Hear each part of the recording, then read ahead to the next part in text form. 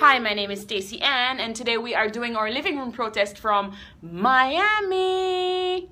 And today's protest is about. Do you can, do, can you tell them what it's about, Zuri? It's about. It's about talking. I mean, um, not touching what you shouldn't touch. Absolutely. So we're talking about like touching things that aren't your things. And uh, uh, sometimes, Zuri, do you touch things that you shouldn't touch? Um, yes. Yes. And you sometimes you get in trouble for it. Yeah. Mm-hmm. And sometimes you're told, do not touch that. Right? Yeah. So how do you know you shouldn't touch something? Does someone tell you? Yeah. And what else? How do you know?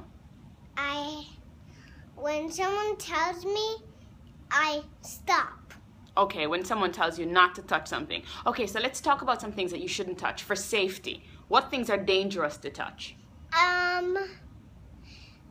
Dangerous, huh? Like when we are The handle of the car. the handle of the car, you should not touch the handle of the door handles while we are driving at all. Absolutely. High five on that one. And when I'm cooking, what shouldn't you touch? Um, the stove. You shouldn't touch the stove. You should why shouldn't you touch the stove? There's fire on it. And the fire would do what? Burn me. Right, and hurt you. So you shouldn't touch those things. Uh, what else shouldn't you touch? You shouldn't touch like very delicate things, things that break easily, like pieces of artwork that are sitting up there that people find very special or they love them and they don't want them to break. Mm-hmm. Yes, and you shouldn't touch people's bodies if they tell you not to, right? No. No, you should. What you what do you need to touch somebody's body? With a mission. with permission. You absolutely need permission to touch people's bodies. Uh, what else shouldn't you touch? I think there's so many things, but I'm not thinking of them right now. How?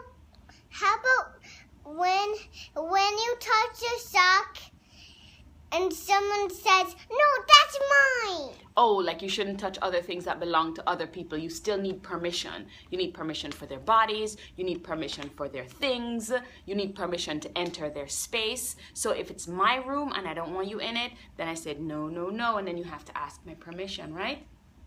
So tell them, don't touch things without permission. Don't touch things without a mission. Absolutely. Let's do a long one.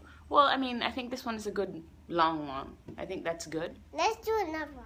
We can do another one after, but right now it's don't touch things without permission. Don't touch.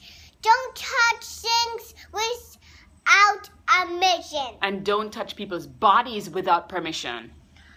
And don't don't touch don't touch the things that they are using. don't touch things that belong to other people without their permission. Their bodies, their toys, their rooms, their possessions, everything. That has been the living room protest from Miami. Bye. Bye.